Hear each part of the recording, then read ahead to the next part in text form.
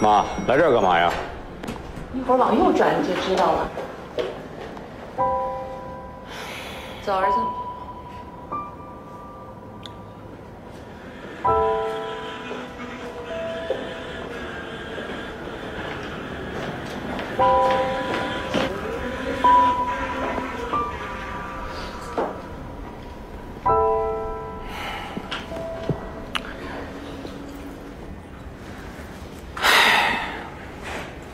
为什么选在这儿啊？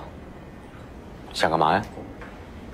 想让别人看我的笑话，还是想给自己添堵啊？哼儿子，你只看到我见到那对狗男女的时候有多难受，但是你没想到他们在这儿看到我的心情吧？啊？妈，你既然决定跟老贺离婚，那这事儿就算过去了，翻篇了。你这么做又是何必呢？我就是要看到盈科在他们手上倒闭破产。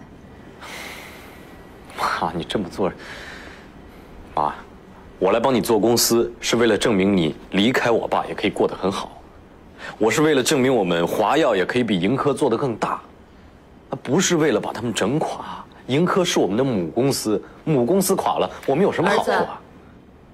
我一直不同意你入这行。你现在要退出，我没意见。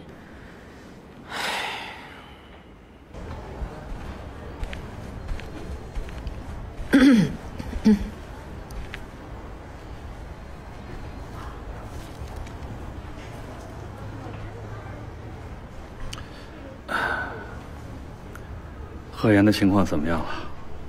跟你没关系。你别老这样嘛，没必要。你是盈科地产的大股东，咱们的利益是捆绑在一块儿的，可以说是一荣俱荣，一损俱损。你说现在这样子，何必呢？闹得大家都下不来台，是不是？下什么台啊？谁下不来台了？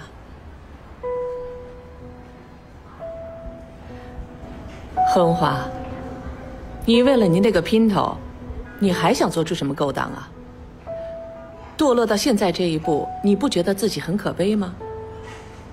哼，还下台？这出戏演到现在，你以为别人还都有兴趣看啊？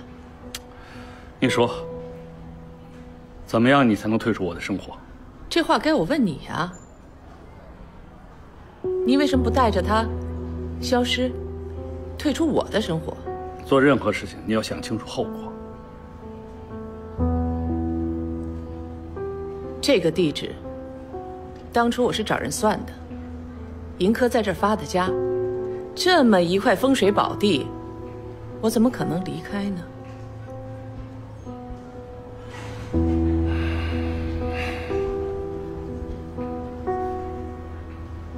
你必须离开，不然呢？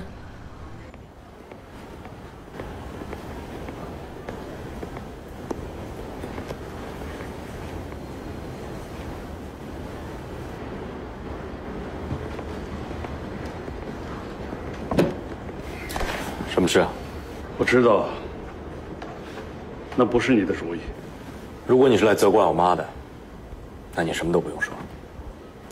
我妈怎么做，为什么要这么做，这都是她的权利。我没有责怪你妈的意思。我知道，我的行为深深的伤害了你们母子。你妈她怎么报复我，都合理，都是她的事，我都应该接受。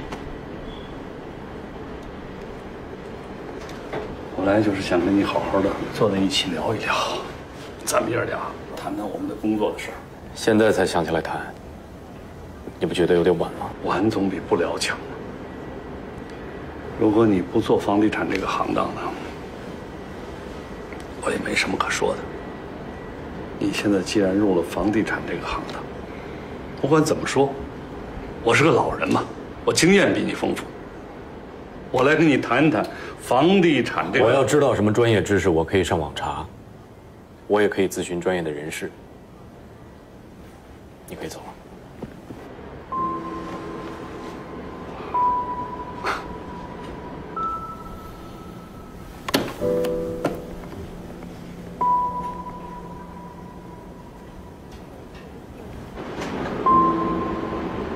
你真的以为我像你妈说的那样？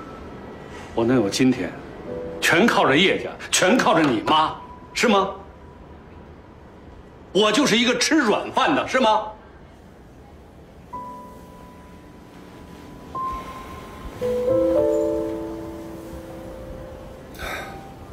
有些事儿我从来没跟任何人，也没跟你妈讲过，那就是我入行以来，有好多年我是怎么过来的。我每天工作二十个小时，儿子，我和工人们一样，和他们打成一片，吃、住、干活全一样。你过过那种日子吗？在马路牙子上，端个盒饭，啊，风一吹过来。一口沙一口风，就这么就着吃。渴了只能喝井水。这样的日子我坚持了三年。我从来没敢跟你妈说过，为什么？因为我怕她担心我。但是那个时候我咬牙坚持，因为我有一种强烈的愿望，我要把这公司干好了、干大了、干成了。我要让你们母子过上体面的生活。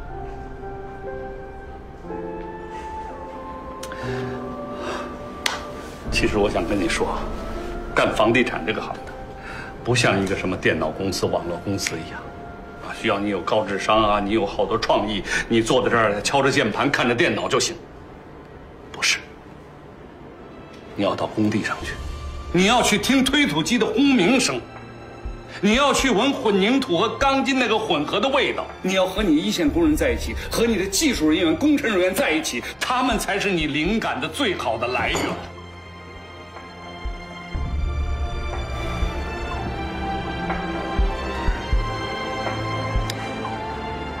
我现在说这些话真是不合时宜。你的身体，对不起，儿子。啊，我给你拿来一些工程的资料。